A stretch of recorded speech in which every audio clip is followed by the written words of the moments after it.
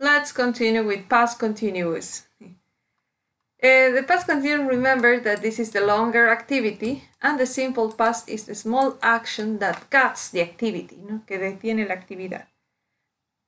Let's imagine you arrived at work yesterday. Ayer ustedes llegaron a su trabajo. Imagínense que este es su centro de labores.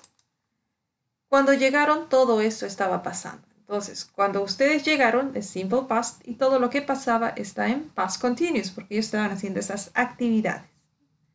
Okay, so you're going to write the sentences in the past continuous form.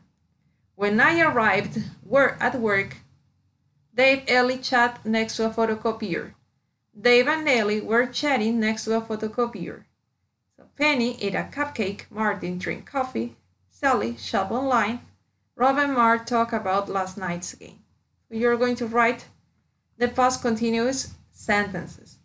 Remember, everything is in past continuous because they are happening in that moment, at the moment that you arrived at work.